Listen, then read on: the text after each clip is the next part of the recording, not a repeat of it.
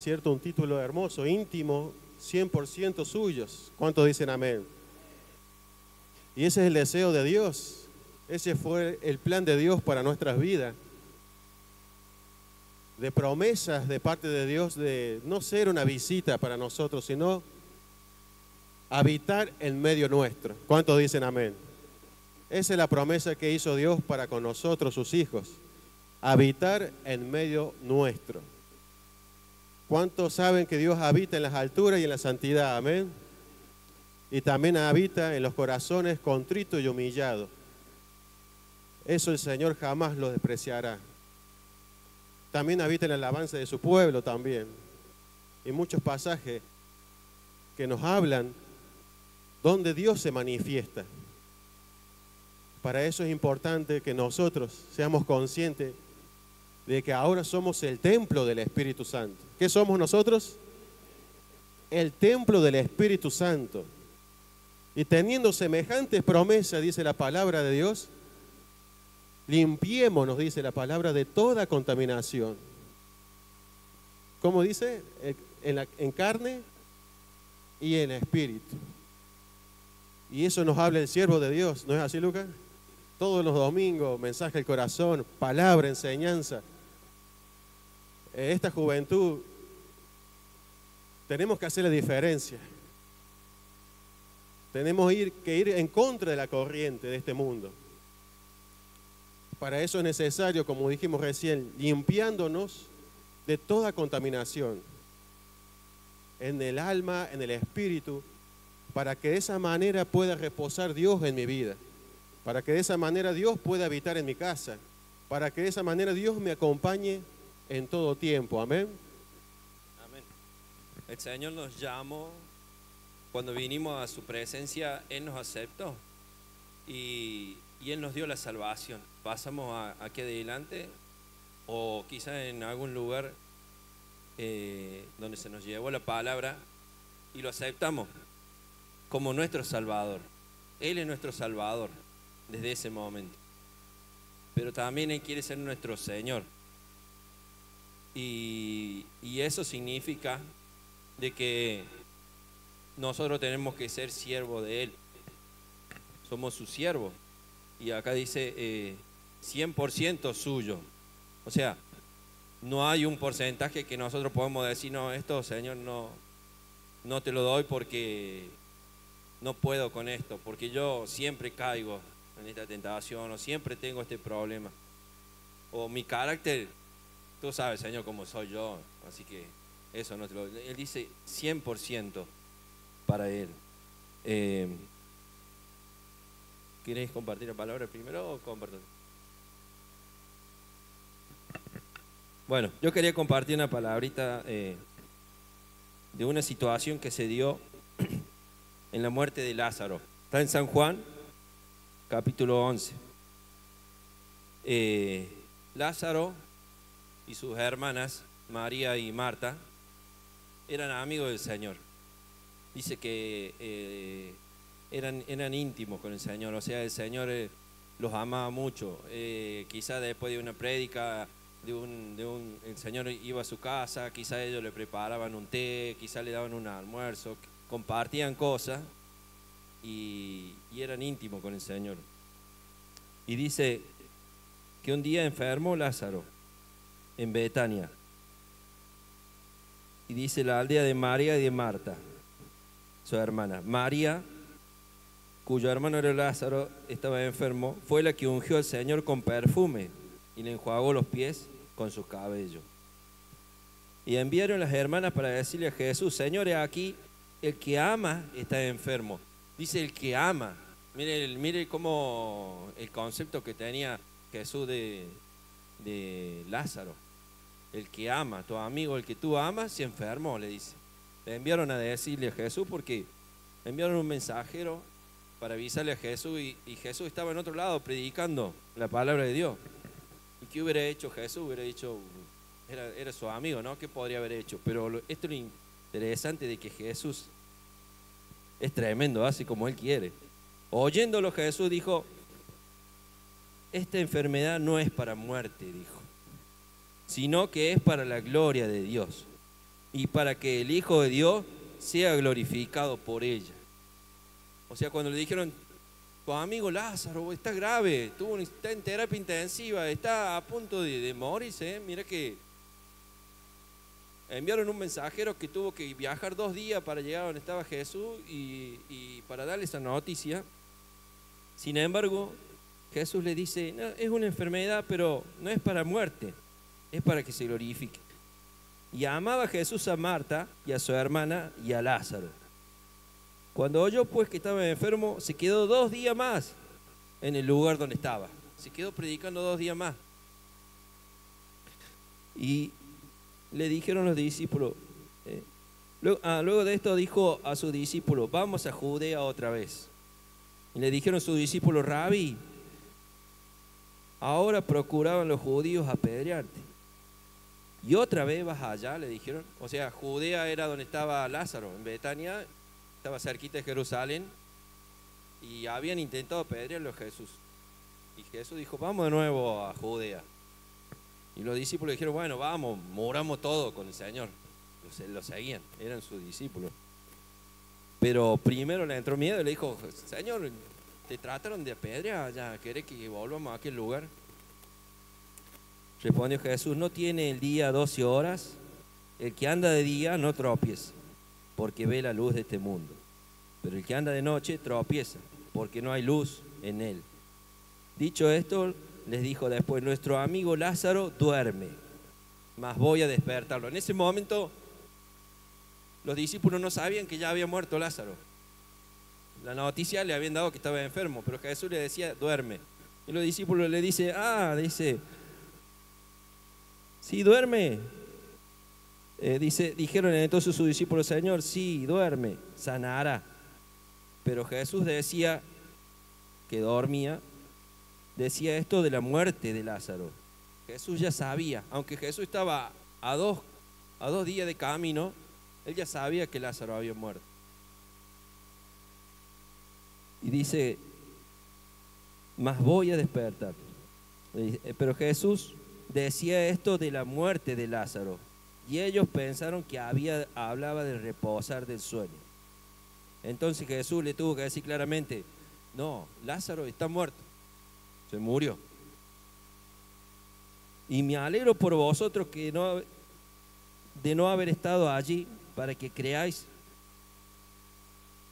Mas vamos a él, dijo. Se alegraba porque los discípulos, como estaban con él, no habían visto que estaba muerto y no estaban como Marta y María, que estaban viendo lo que estaba sucediendo y su fe ya no era la misma. Y dice, me alegro por vosotros. Dijo entonces Tomás, llamado Dídimo, a su discípulo, vamos también nosotros para que muramos con él. Salte, un, salte unos versículos acá y dice, cuando Jesús va y se encuentra con, en Judea, dice que Marta cuando oyó que Jesús venía salió corriendo, pero María se quedó en la casa. Y ahí vemos dos, dos, dos tipos de, de personalidades. La de Marta, que siempre era impetuosa, salía, salía de frente, iba y decía, yo le voy a decir al Señor, ¿cómo no estuvo acá? Yo lo voy a agarrar antes de que llegue la, a la aldea, yo lo voy a agarrar, me va a tener que escuchar el Señor. Mira que le avisamos de que estaba enfermo y no vino. Mira que Señor, yo te avisé de que no tenía trabajo. Mira, Señor, yo te dije que necesitaba esta sanidad o que necesitaba esta casa o que necesito este auto, que necesito esta moto. Yo te dije, Señor, y a veces empezamos a hacer reproche nosotros Señor, porque el Señor nos convidó una vez y nos dejó ser su íntimo. Es como que nos pasamos en la raya. Y queremos, Señor, exigirle nosotros al Señor que Él sea eh, sirviente nuestro, cuando es al revés. Entonces Marta, cuando oyó que Jesús venía, salió a encontrarle. Y María se quedó en su casa. Y Marta le dijo, Señor, si hubieses estado aquí, mi hermano no habría muerto. Mas también sé que todo lo que pidas a Dios, Él te lo dará. Jesús le dijo, tu hermano resucitará. Marta le dijo, sí, yo sé que resucitará en la resurrección del día postrero. Jesús le dijo, yo soy la resurrección y la vida, el que cree en mí, aunque esté muerto, vivirá. Y le dijo, yo he creído, tú eres el Cristo, el Hijo de Dios. Ella decía que había creído. Ella lo decía de palabra, pero muchas veces nosotros decimos de palabra, pero cuando llega la tormenta, no actuamos. Porque cuando después el Señor más adelante le dice, quite la piedra, dice, no, dice, pero ¿cómo quitar la piedra? Hace cuatro días que, murió. Ya sus tejidos están todos descompuestos, ya su carne está podrida, ya huele a, muerto. No es imposible, no, no. Acá dice, y aún María también, cuando llegó Jesús, se postró sobre sus pies diciéndole, Señor, si hubieses estado aquí. María también le reprochó al Señor, con otra actitud quizá, pero también le reprochó. Jesús entonces al verle llorando y a los judíos que le acompañaban también llorando, se estremeció en el espíritu y dijo, ¿dónde le pusiste? Le dijeron, Señor, ven y ve. Y Jesús lloró. Y muchos han hablado de esa palabra de Jesús lloró, pero Jesús lloró porque en ese momento él veía que no habíamos entendido, o sea, no habíamos entendido de que Jesús de, la fe, de confiar en el Señor, de confiar en el Señor y saber de que Él nunca llega tarde. Dijeron entonces los judíos, mira cómo le amaba. Y algunos de ellos dijeron, ¿no podía este que abrió los ojos a los siervos haber hecho también que Lázaro no muriera?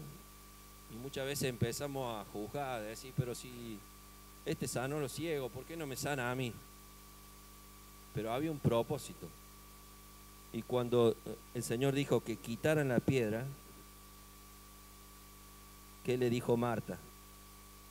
Señor, hiede ya, porque hace cuatro días Jesús le dijo, ¿no te he dicho que si crees, verás la gloria de Dios? Entonces quitaron la piedra donde había sido puesto el muerto. Jesús alzando los ojos alto dijo, Padre, gracias te doy por haberme oído. Yo sabía que siempre me oyes, pero lo dije por causa de la multitud que está alrededor, que crean que me has enviado. Y habiendo dicho esto, clamó a gran voz, Lázaro, ven fuera. Y el que había muerto salió, atadas las manos, los pies con vendas y su rostro envuelto en un sudario. Jesús dijo, desatadle y dejadle ir. Ahí terminó la obra con Lázaro. Lázaro salió fuera, pero Jesús dijo, quiten la piedra. Eso es lo que tenemos que hacer nosotros. Tenemos que quitar la piedra. Nosotros tenemos que, que pedirle al Señor y ponerlo en acción. No tenemos que poner excusa. No tenemos que excusarnos. Y después le dijo, desatarle y dejarle ir. Cuando una persona llega al, al, camino del Señor y llega todo herido, todo vendado, la iglesia es la que tiene que desatarlo, curarle las heridas y ayudarlo para que crezca en el Señor. Y no tenemos que poner excusa como, como, como esa parábola que dice que había una fiesta estaban convidados a la fiesta y nadie quería ir porque todos se excusaban y decían, no, yo he comprado una yunta de bueyes, no, yo me estoy por casar, y, todos ponían excusa. Todos ponían excusa, pero ante el Señor no hay ninguna excusa. Desde el momento de que somos siervos del Señor, que somos ciento por ciento siervos del Señor, no hay excusa delante de Dios. ¿Y sabe lo que significa la palabra siervo en griego? Se llama doulos que quiere decir esclavo. Somos esclavos del Señor. Y, saben que cuando el Señor nos llama eh, a ser sus discípulos, dice, tome su cruz y sígame. No hay, no hay otra opción. O somos el Señor o somos el enemigo. O somos esclavos del Señor por amor o somos esclavos del vicio o somos esclavos de la droga, o somos esclavos del mundo. No hay un punto medio. eh, la palabra dice que conmigo no recoge, no recoge y desparrama. Y dice, si no eres frío ni caliente, eres tibio, te vomitaré de mi boca. O sea, tenemos que ser 100%. Es la mejor opción que tenemos, es ser su siervo. Y el siervo, el, el siervo eh, cuando hicieron la traducción, dice en la Reina Valera que pusieron siervo, para, no pusieron esclavo directamente, porque era como hacer apología a la esclavitud y no querían favorecer a eso. Pero la palabra en realidad griego significa esclavo, esclavo de amor. El siervo se contrata y se paga, pero el esclavo no. El esclavo trabaja por amor y sirve al Señor por amor. Entonces, no hay nada, no hay nada mío todo es del Señor, ciento por ciento. ¿Por qué? Porque Él me pagó con su sangre. Porque Jesucristo vino a este mundo y se hizo hombre para que, para que yo, que soy un pecador, porque todos somos pecadores, ¿no es cierto? Todos pecamos. Dice que si alguno transgredía la ley en un punto, era culpable de toda la ley. ¿Y sabe cuántos mandamientos había? No eran diez, eran más de 600 mandamientos. Y si en un punto transgredíamos la ley, ya éramos culpables, merecíamos la muerte. Entonces, Dios dijo, Dios es un juez justo. Y si alguien secuestra a una criatura, va a tener que pagar por eso. Pero ¿cómo Dios podía ser justo y a la vez perdonar a esa persona? ¿Cómo podía hacer eso? ¿Cómo podía habitar la justicia y la misericordia? Jesús dijo, yo me voy a sacrificar. Yo me voy a sacrificar y voy a ir a la cruz y voy a pagar por ese pecado de ese violador. Voy a pagar por ese pecado de ese homicida. Yo voy a pagar por todos los pecados. Voy a ir a la cruz. Y la cruz era el peor de los castigos el peor de la sentencia romana era la cruz. Los romanos no podían morir, morir en la cruz. Y ahí fue nuestro Señor Jesucristo. Y dice que Él sufrió cada latigazo en su cuerpo por mí, por, por cada uno de ustedes. Se le arrancó la piel, 39 latigazos. Se le arrancó los músculos, lo dieron vuelta y le siguieron pegando del otro lado, le pusieron una capucha en la cabeza y le golpeaban y le decían, ¿quién te pegó? Profetiza. ¿Quién te pegó? Él nos compró con su sangre, porque nosotros no éramos dignos de nada, no merecíamos nada. Y Él nos hizo acepto delante de Dios.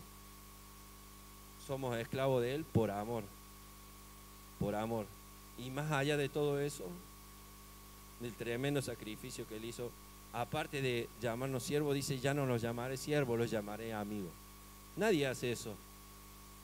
Porque los que tenían siervo o esclavo, lo tenían de esclavo y decía, bueno, terminaste de trabajar, ahora prepárame la comida, servime y después te toca a vos. Pero dice, ya no llamaré siervo, lo llamaré amigo. ¿Podemos servir a Dios? Tenemos que decidir. En la vida todos son decisiones.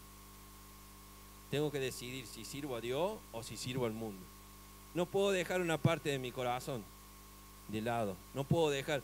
Si hay algo que había en mi corazón, Señor, perdóname.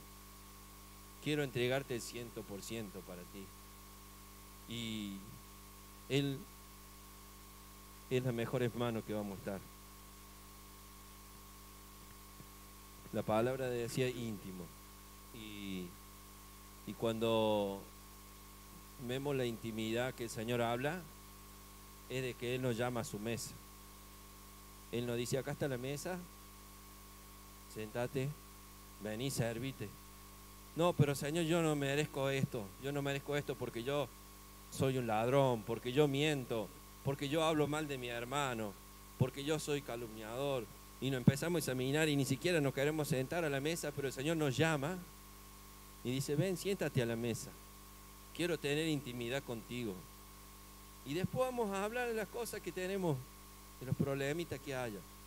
Pero Él te llama a la mesa y te dice, siéntate a la mesa. No te cobra, no te pide un plus, no te pide nada. Pide que dispongas tu corazón y que vengas y te sientes a la mesa. Así lo hizo con Pedro. Cuando Pedro lo negó tres veces y dijo, yo no quiero tener nada que ver con Jesús, yo no lo conozco, no sé quién es, y tuvo miedo, lo negó. El Señor, ¿qué hizo Pedro cuando se enteró? Cuando cantó el gallo, Pedro salió corriendo, fue, se escapó y se fue de nuevo a pescar, lo que hacía antes, se fue de nuevo a la pesca. El Señor salió y fue y lo buscó a Pedro. dijo, Pedro, vení, acá estoy preparando unas brasas para unos pescados, vení a comer. Y, y él sabía de que cuando invitaban a la mesa a comer era porque había intimidad. Cuando yo estoy con mis amigos y nos juntamos a comer, es porque hay intimidad y hablamos cosas comunes y charlamos y es intimidad. Y Dios lo llamaba a Pedro, porque no, no depende de lo que nosotros podamos hacer, sino depende de la gracia de Dios. La gracia de Dios, aunque nosotros nos equivoquemos, porque Pedro se equivocó, porque Pedro prometió algo y no lo pudo cumplir, porque era un ser humano. Y muchas veces nosotros también prometemos cosas a Dios y no las podemos cumplir y, caemos en eso de la culpa. Y el Señor nos dice, vení a la mesa, acércate. Yo sé que con tu propia fuerza no vas a poder, pero con la gracia de Dios sí vas a poder. El Señor nos llama a que nos entreguemos el 100% para Él. Y tenemos ejemplo en el ministerio del siervo de Dios entregó 100% para el Señor, para la obra del Señor. Él quizás pudiese tener una empresa en otro país, estar tranquilo de la vida, él, sus hijos, sus nietos, todo. Sin embargo, todo lo puso para la obra del Señor. Acá había muchos siervos. A nosotros nos dijeron, teníamos reuniones lunes casa oración, martes casa oración, miércoles reunión, jueves casa oración, viernes reunión con el siervo, sábado a la mañana vendíamos empanada, sábado a la, siesta jugábamos al fútbol, sábado a la tarde casa oración, sábado a la noche vigilia, domingo a la mañana salíamos a predicar. Y domingo a la noche veníamos a la casa del Señor. Y si alguien nos decía algo, ¿sabe lo que decía la pastora nuestra? Decía, yo estoy formando siervo. Si mi papá se quejaba y decía, eh, ¿por qué está todo el día en la iglesia? Yo estoy formando siervos. Y los siervos son esclavos. Yo no puedo decir, no, yo no puedo ir porque se me enfermó el loro, como dice el siervo. No, yo soy siervo. Yo soy esclavo del Señor. Y ya no vivo yo, sino que vive Él en mí. Y tengo miles de defectos, miles. Tengo más defectos que virtudes. Pero por la gracia del Señor es que estoy. Y por la gracia del Señor es que Él nos llama a nosotros, a que nos entreguemos 100% para Él. Amén. Gloria a Dios. Le damos un aplauso al Señor.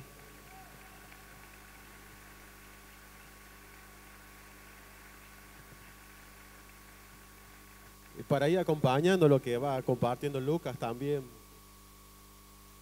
él, él hablaba de esclavo, ¿cierto? Esa definición la dio el siervo hace un mes atrás aproximadamente, que siervo significa esclavo.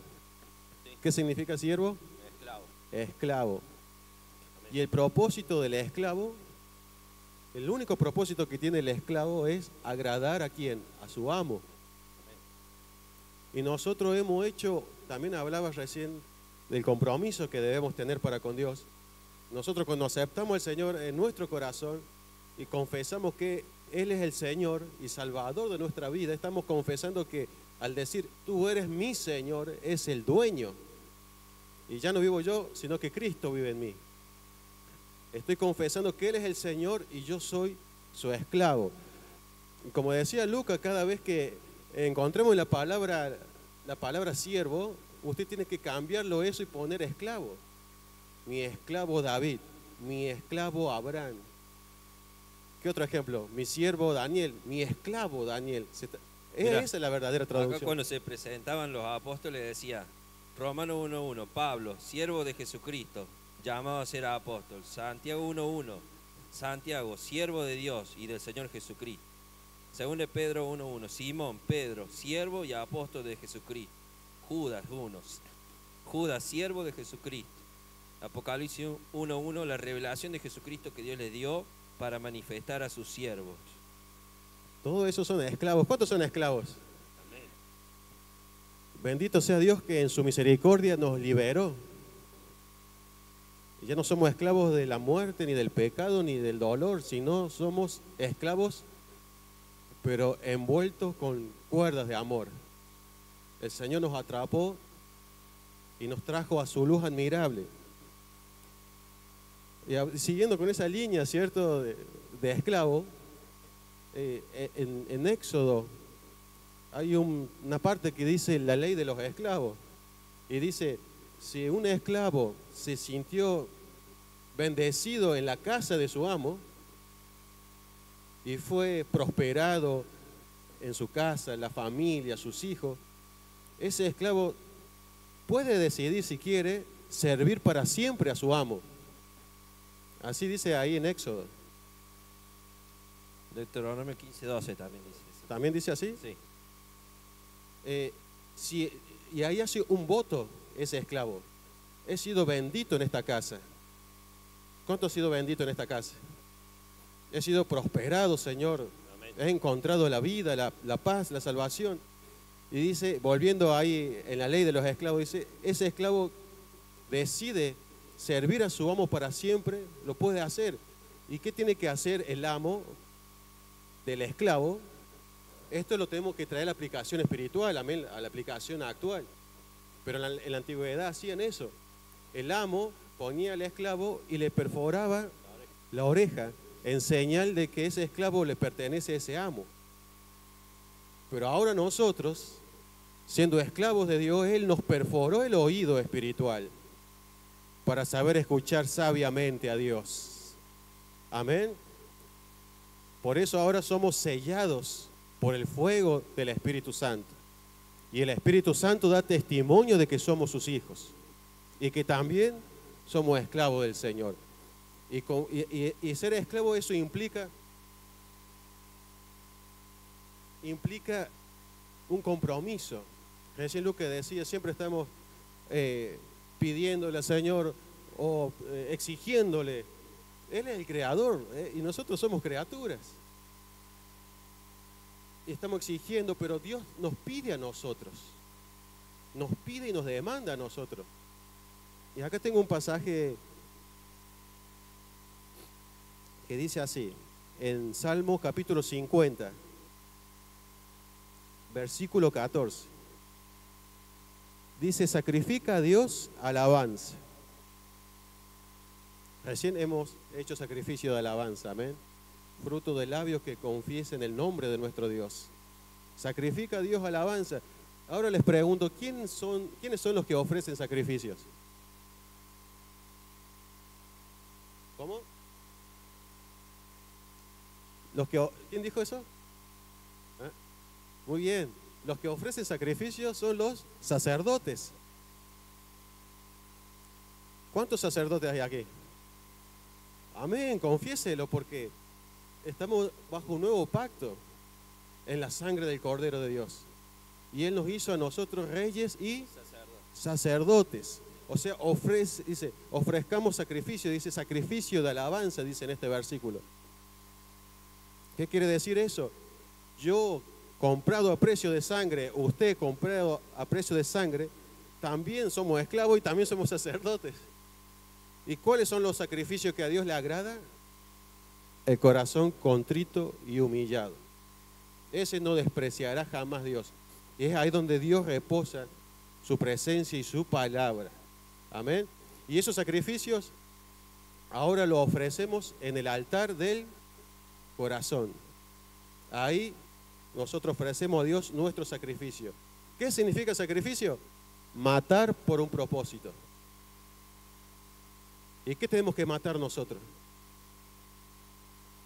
nuestra naturaleza pecaminosa, viciada, la carne, el desánimo, la angustia, la tristeza, la dejadez, la depresión, eso tenemos que vencer nosotros, eso tenemos que matar nosotros. Dios ya nos dio la autoridad para vencer.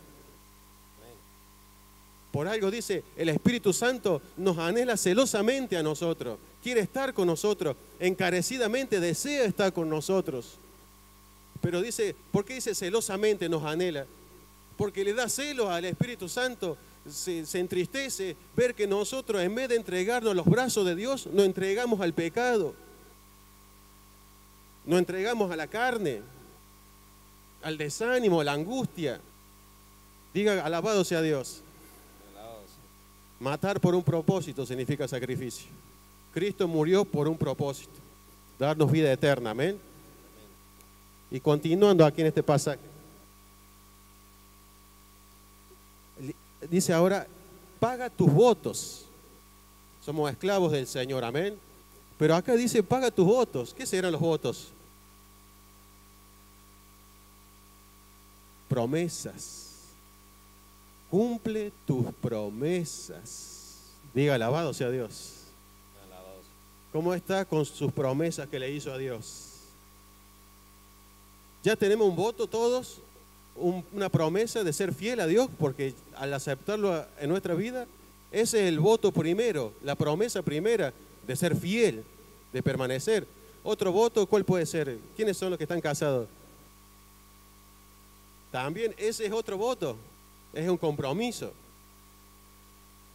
Cuando alabamos a Dios, también hacemos votos delante de Dios.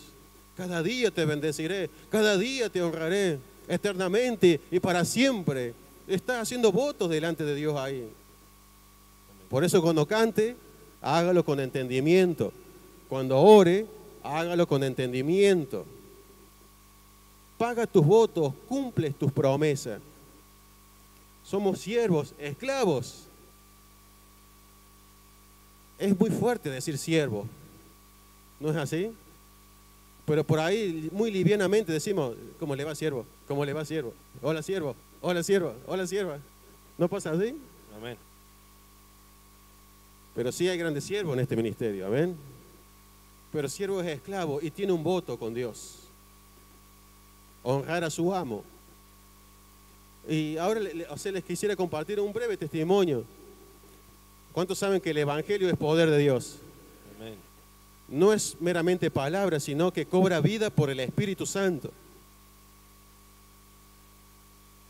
Y eso es lo que tenemos que vivir nosotros, nuestro voto, nuestra promesa que le hemos hecho a Dios. Como Richard mencionaba, yo estoy sirviendo desde hace mucho tiempo en, en la parte de los músicos.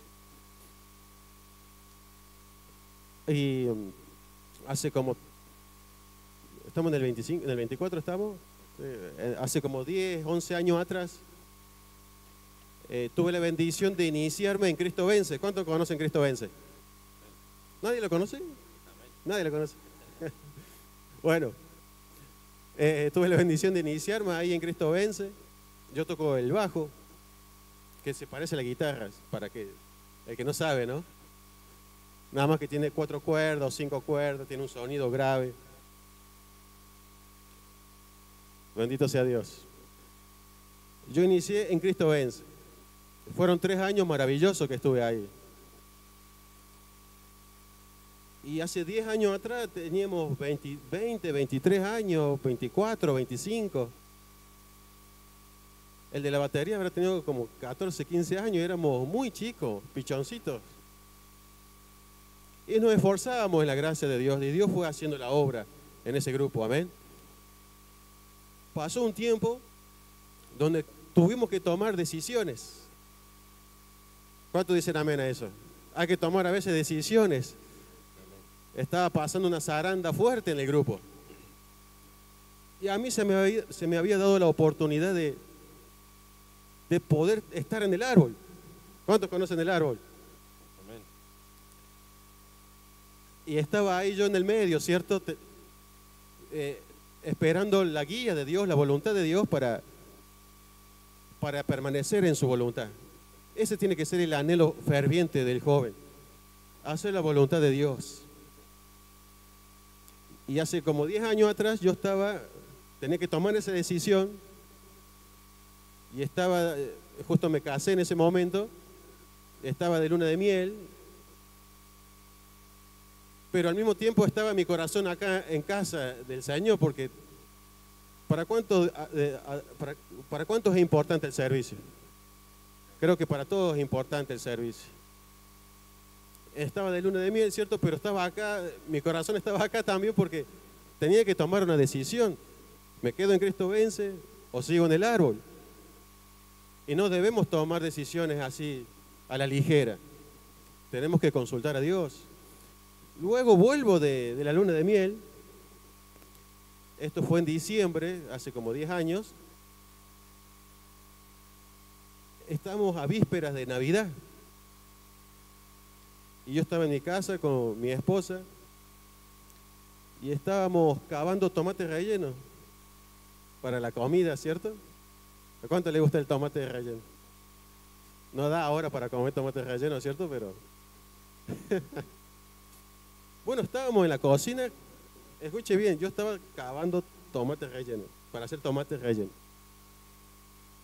Mientras hacíamos eso, pusimos alabanza, adoración, y el Espíritu nos llevó a oración, a la oración. empezamos a orar, a orar, a orar y el Espíritu nos llevó, nos llevó. Y a mí me llevó también oración, teniendo yo esta petición en mi corazón. Y yo le dije al Señor, si es tu voluntad, ligo mi alma al árbol. Ya vamos a explicar esa parte, porque es una palabra fuerte, ¿no? Nuestra alma, ¿a quién está ligada? A Cristo. Pero en esa oración le dije eso, si es tu voluntad, recuerda que estamos hablando de paga tus votos, cumple tus promesas. Le dije, si es tu voluntad, Señor, ligo mi alma al árbol. Estoy diciendo, me comprometo en esa causa, me comprometo con el grupo, me comprometo con esa tarea. Eso le estaba diciendo al Señor.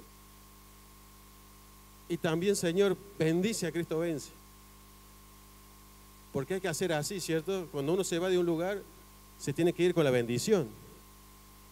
Y no andar de mochilero en los departamentos o en los conjuntos, sino hacer raíces, raíces profundas. Amén. Entonces, eso fue un martes, me acuerdo de esa oración. Pasaron dos días eso fue un martes, al jueves me citaron los dos grupos el mismo día. Y ellos no sabían nada que yo estaba en eso, pensando, orando. Quiere decir que era Dios el que estaba orando, ¿cierto? Y yo decía, ¿cómo voy a hacer para... Tengo que hablar con Gonzalo, tengo que hablar con Marcelo. Y mi esposa me dice, anda tranquilo que Dios te va a guiar y Dios va a hacer la obra, amén. Y bueno, primero hablé con Gonzalo, gloria a Dios, pasa esto, esto me dio la bendición. Después con Marcelo, el árbol, esa misma noche. Dos días pasaron. Y desde ese entonces hasta ahora estoy en el árbol. Y pasaron 11 años prácticamente. ¿A qué voy con esto? Que Dios nos demanda a nosotros que paguemos nuestros votos que le seamos fieles con lo que le hemos comprometido a Dios. Después de eso pasó un tiempito. Recuerden que yo le dije al Señor, eh, ligo mi alma, ¿cierto? Y pasó el tiempo y encontré un pasaje en el libro de números, anótelo si quiere. Perdón. Y dice así, Espera que se me perdió. Acá está. Números capítulo 30. Acuérdese de pagar, pagar qué cosa? Los votos, cumplir promesas, ligar el alma. Habló Moisés a los príncipes de, de las tribus de los hijos de Israel diciendo, esto es lo que Jehová ha mandado cuando alguno hiciere voto a Jehová, cuando alguno hiciere voto a Jehová o hiciere juramento ligando su alma, ¿tiene un papelito? Bendito sea Dios.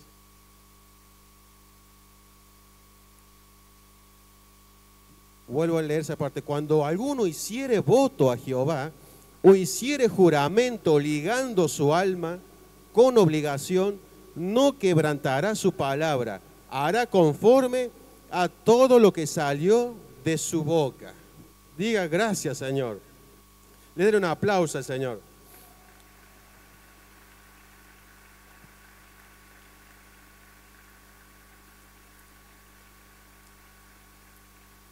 Estamos hablando de la gracia de Dios, del poder de Dios. Porque el Evangelio es poder de Dios. Y esto es un testimonio simplemente. Quiere decir que en aquel momento oré en el Espíritu. ¿Cuántos dicen amén? Cuán importante es que podamos orar bajo la inspiración del Espíritu Santo. El Espíritu Santo es Dios, conoce la profundidad de Dios.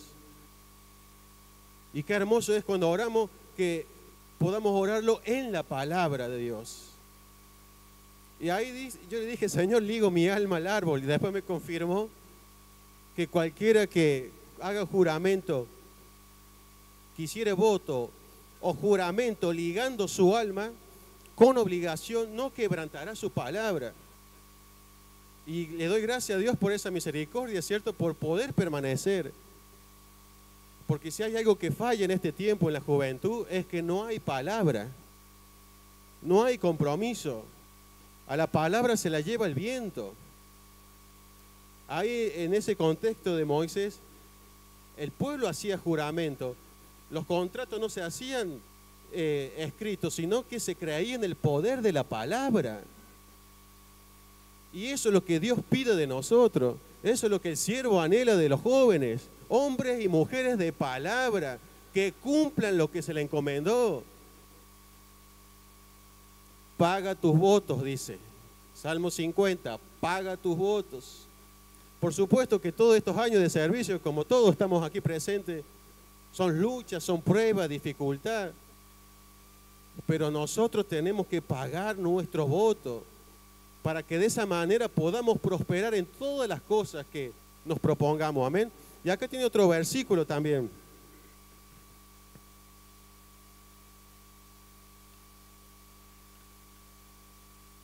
Dice así, lo puede encontrar en Job capítulo 22, en versión popular. Si tú cumples tus promesas, Él escuchará tus oraciones. Porque a veces decimos, o un joven puede decir, no me sale esto, no me sale lo otro, no encuentro trabajo. ¿Cuánto quieren un buen trabajo? ¿Cuánto quieren un salario digno? Un ejemplo. ¿Cuánto quieren formar una hermosa familia, un hermoso hogar, una casa? ¿Cuánto anhelan eso?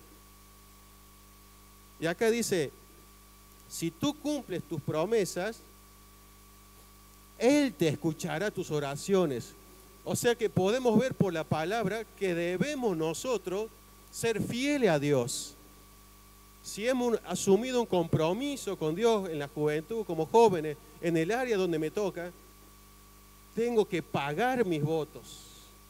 Tengo que pagar mis votos. Si en lo poco soy fiel, en lo mucho te pondré. No es simplemente exigir a Dios. El voto es un compromiso con Dios. No en exigencia, sino en temor, en reverencia. Buscando primeramente una sola cosa, la voluntad de Dios. Ese fue el deseo de, mi corazón, que, que la decisión que tomara sea bajo la voluntad de Dios. Y acá por la palabra dice, para que tu oración no tenga estorbo, amado joven, cumple tu promesa. Obedece a papá, obedece a mamá en el trabajo que Dios te dio. Bueno, en eso también el Señor me bendijo porque los pensamientos de Dios son mucho más altos de lo que nosotros creemos o entendemos. Me dio la gran bendición por la gracia, como decía Lucas. Si damos testimonio es por la gracia de Dios. Y Él me permitió trabajar también hace 12, 13 años que estoy trabajando para una entidad financiera, un banco.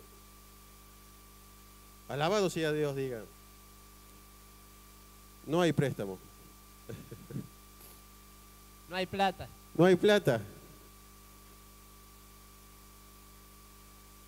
¿Por qué hablo de esto? Yo, yo pienso igual que Lucas, no me gusta hablar de mí. Pero en este caso, cuando Richard nos pide algún consejo, el, Evangelio es poder de Dios.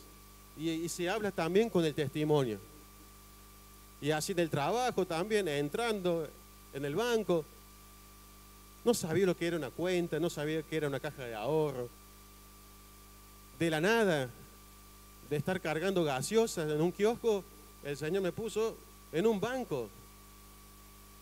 Él levanta del polvo al pobre y al humilde lo levanta del muladar y lo hace sentar entre los príncipes y los príncipes de su pueblo. Él te levanta, pero tenemos que ser fiel a Dios. Y ahí empezó, eso que les comenté recién fue en cuanto al servicio. Y, pero también Dios nos bendice en el trabajo en el banco ingresé, ¿cierto? Y como en todo trabajo te hacen pagar el piso. Amén. Y, y, bueno, iba creciendo, aprendiendo. Y eso debemos tener presente también, que, que debemos tener temor de Dios, que Él nos mira, cómo reaccionamos, cómo somos delante de Él y cómo somos delante de los que nos rodean en el trabajo por ahí, ¿cierto?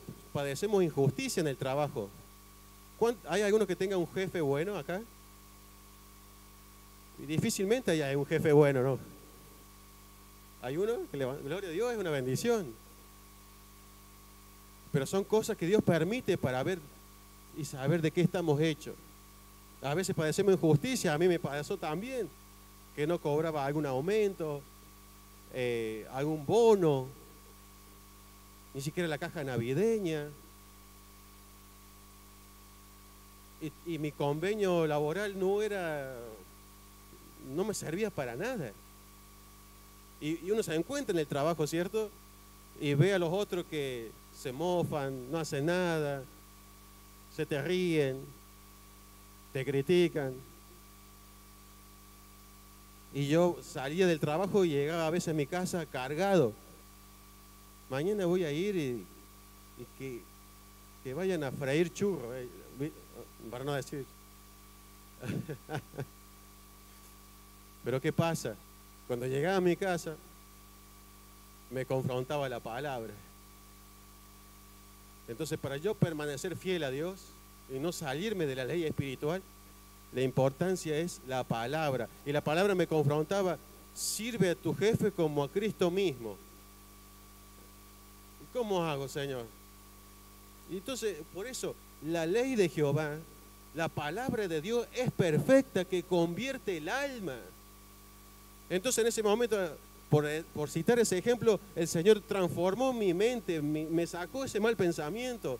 Y si me pedían algo en el trabajo, hacía el doble, el triple.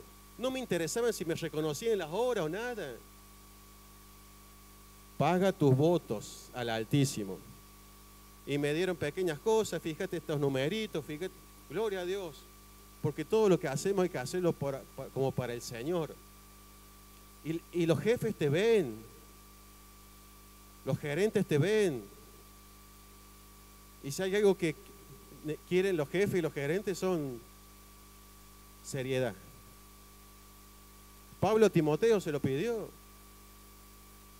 que sea solícito para toda buena obra, que sea irreprensible, que sea santo, que sea piadoso. Serio, serios, serio, seriedad pide Dios. Pero a veces, como vemos los jóvenes, la juventud, no solamente los jóvenes, en todas las edades, en los estados, ¿qué hago? ¿Me corto las uñas? ¿Me pinto en rojo? ¿Me pinto en negro? Eso es seriedad. ¿Cómo puede Dios bendecir? Pablo le dijo a Timoteo, seriedad, pero es una seriedad santa la que Dios habla ahí. No quiere decir que seriedad sea cara de pocos amigos. No, tenemos que tener la gracia. Pero habla de una seriedad poderosa en Dios, como dice la palabra, y puse mi rostro como un pedernal, un rostro duro, como Cristo Jesús, el ejemplo, un rostro duro pero lo espiritual, un rostro serio. Menospreciando el oprobio, menospreciando las críticas, menospreciando las confabulaciones, las conspiraciones, poniendo el gozo por delante y siendo obediente y siendo fiel. Por eso la palabra, paga tus votos al Altísimo. Queremos que el Señor nos escuche, cumpla sus promesas. No queremos que se quite el estorbo, ¿cierto? El estorbo que hay en medio, que no fluya la oración. Paga tus votos e invócame en el día de la angustia. Yo te libraré y tú me honrarás. Diga, alabado sea Dios. Bendito sea Dios. Eso básicamente es lo que les quería compartir. No sé si tiene algo más, Lucas. No, gloria a Dios por todo lo que nos compartía Samuel. Para ir cerrando, eh, los que son más viejitos saben que el siervo de Dios siempre decía, soy un inútil. ¿Cuánto lo escucharon alguna vez en las prédicas viejas? Decía, yo soy un inútil. Y sabe que había pastores que se enojaban con él porque decía, no puede decir soy un inútil porque si no todo sería muy inútil. O sea, con todo lo que Dios lo usaba, le decía, yo soy un inútil, soy el más inútil de todo, decía. Miren lo que dice la palabra, Lucas 17. Dice, ¿acaso da gracia, 17.9, ¿acaso da gracia al siervo porque hizo lo que se le había mandado? Pienso que no. Así también vosotros cuando hayáis hecho todo lo que os ha sido ordenado, decid, siervo inútil somos, pues lo que debía hacer, hicimos. ¿Quién le podía enseñar al siervo, no? Si él en carne propia lo vivió eso, en carne propia lo vivió. O sea, puso su vida al servicio del Señor, ciento por ciento. Y aún así dijo, soy un inútil, no soy nada. Somos esclavos del Señor. 100% suyo. Todo lo demás añadido será, como Samuel. Cuando nosotros caminamos bajo la mirada del Señor y nuestro corazón está en hacer su voluntad, el Señor se va a encargar de bendecirnos y de darnos el lugar que tenemos que estar. Pero nuestro corazón tiene que ser 100% para Él. Hace poquito recibimos el Espíritu Santo con el Pentecostés. Hubo un derramamiento acá, del, dice que en esa fiesta el Señor aprovecha y se derrama el Espíritu Santo sobremanera. Recibimos el Espíritu Santo. Fue tremendo lo que se vivió. Dice que el Espíritu Santo es como una paloma. O sea, lo asemeja a una paloma porque es sensitiva. Recibimos el Espíritu Santo, pero permanece en nosotros tenemos que hacer lo que decía Samuel, mantenernos fieles. El Espíritu Santo, la paloma, sigue conmigo cuando voy a trabajar. Sigue conmigo cuando estoy viendo una serie o una película. Sigue la paloma conmigo cuando voy a la cancha. O ya tengo un gavilán acá arriba. Entonces, recibimos el Espíritu Santo, pero tiene que permanecer en nosotros. Amén. Ciento por ciento para Él. Amén.